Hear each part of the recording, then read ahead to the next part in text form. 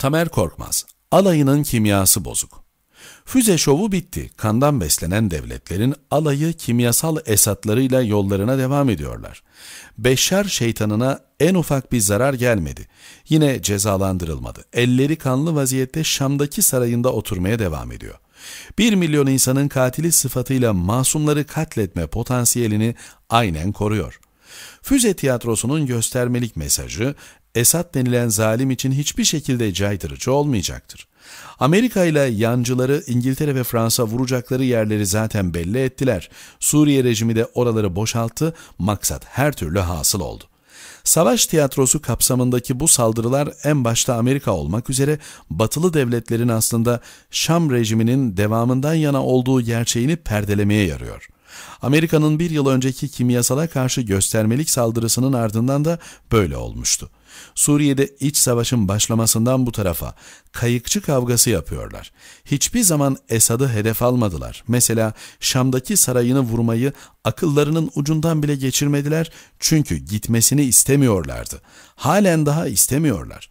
Şam rejimi devrilirse Türkiye'nin tesiri altında bir yönetim başa gelir, o vakit hapı yutarız diye hesap ettiler ta en başından beri. 215 kimyasal saldırının 213'ünde Neredeydi Batı kulübü? Ya Şam şeytanının konvansiyonel silahlarla yaptığı katliamlarda yok ettiği sayısız masumun, çocuğun, sivilin ardından ne yaptılar?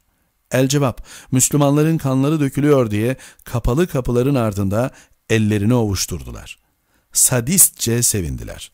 İçerideki hainlerin bilimum etki ajanlarının işbirlikçi takımının uğruna görev yaptığı, putlaştırıp taptığı batılı devletler mi? İşte tam olarak böyledir. Rusya lideri Putin, Amerika eylemleriyle Suriye'deki insani felaketi daha da derinleştiriyor dedi. Kuşkusuz söyledikleri doğru ne var ki eksik söylüyor.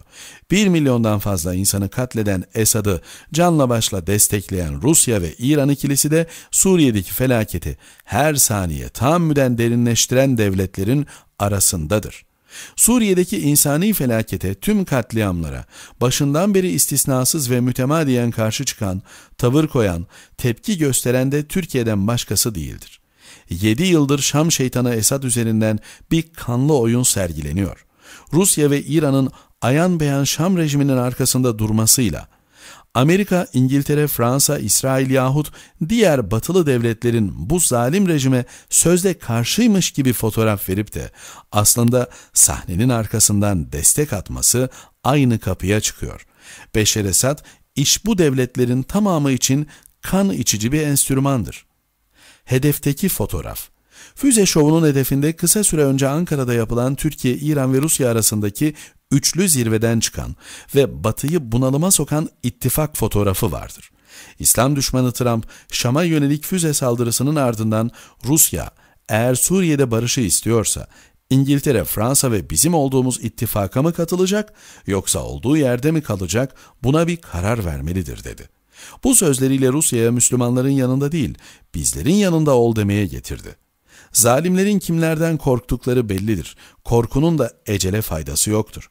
Rex Tillerson'dan sonra Trump tarafından Dışişleri Bakanı olarak seçilen Mike Pompeo, Senato'daki onay süreci kapsamında Dışişleri Komisyonu'nun karşısına çıktığında, Demokrat Parti'den Senatör Menendez'in ona Ankara'daki üçlü zirvenin fotoğrafını gösterdiğini tam da burada hatırlayalım. Bana bu fotoğraftaki sorunu söyler misiniz? Burada üç lider Suriye'de ne olacağını konuşuyor. Amerika orada bile değil.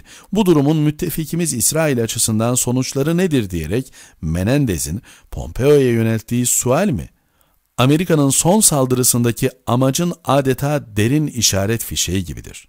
PKK terör örgütünün aşağılık destekçilerinden Fransa Cumhurbaşkanı Macron'un Suriye operasyonuyla Türkleri ve Rusları ayırmayı başardık şeklindeki sözleri ise füze şovunun asıl gayesini itiraf anlamındadır. Tamer Korkmaz, Yeni Şafak